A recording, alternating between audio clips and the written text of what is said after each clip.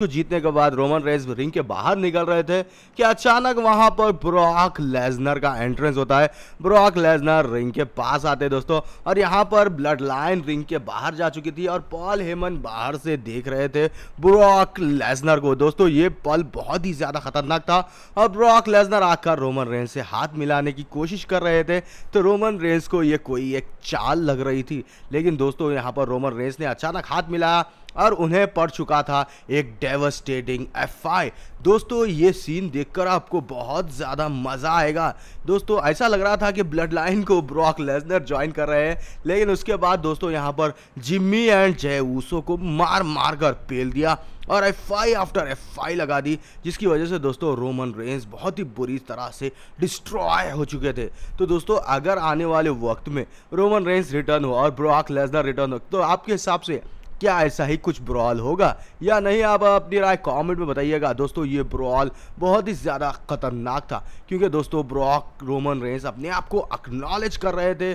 दोस्तों, फिर इसके बाद उन्होंने ख़तरनाक तरीके की झलक देखी, और ब्रॉक लेजनर अपने धमाकेदार एंट्रेंस के साथ रिटर्न होते हुए दिखाई दिए स्मैकडाउन में। क्योंकि दोस्तों ब्रॉक लेजनर रॉ में आ रहे थे पहली बार स्मैकडाउन में आए और अचानक रोमन रेंस को एक डेवस्टेटिंग एफ़ मार दिया। दोस्तों, इसके बाद हम बात करने वाले हैं रोमन रेंस और कोडी रोड्स के मैच के बारे में। दोस्तों, आपको मालूम है कि रसल मेनिया फोर्टी में रोमन रेंस और कोडी रोड्स का एक वन ऑन वन मैच हुआ था, जिसको दोस्तों कोडी रोड्स ने रोमन रेंस की स्टोरी लाइन को एंड किया था। लोग लेकिन दोस्तों, अब हम बात करने वाले हैं वो मैच जो रसलमेनिया 39 का था। रॉयल रंबल जीतने के बाद कोडी रोड्स ने रोमन रेंस को चैलेंज किया था रसलमेनिया 39 में। दोस्तों, ये एक धमाकेदार मैच था, क्योंकि दोस्तों, यहाँ पर रोमन रेंस और कोडी रोड्स पहली बार एक दूसरे को फेस कर रहे थे। लेकिन दोस्तों, इस मैच में कोडी रोड्स अपना डोमिनेशन दिखाते हैं।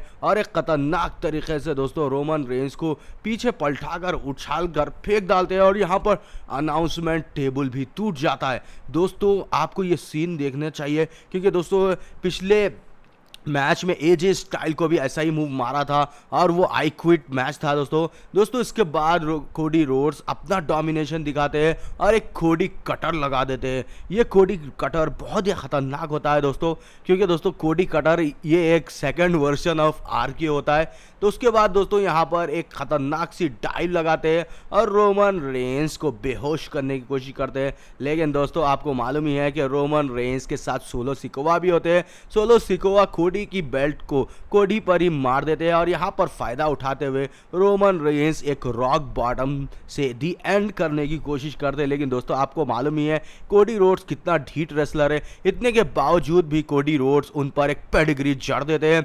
ऐसा लग रहा था कि दोस्तों, ट्रिपल एच आ चुके हैं।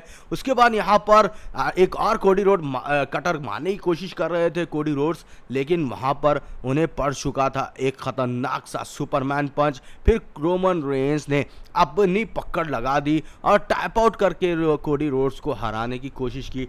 लेकिन दोस्तों, आपको मालूम ही है कि कोडी रोड्स इतनी आसानी से हार मानने वाला बंदा नहीं है। उसके बाद यहाँ पर Cross Rhodes after Cross Rhodes लगता है, लेकिन Jimmy and Jey Uso the bloodline आकर हमला कर देती है और कोडी रोड्स पर अपना फिनिशर चढ़ देती है, जिसकी वजह से दोस्तों कोडी रोड्स ज़्यादातर डैमेज हो चुके थे।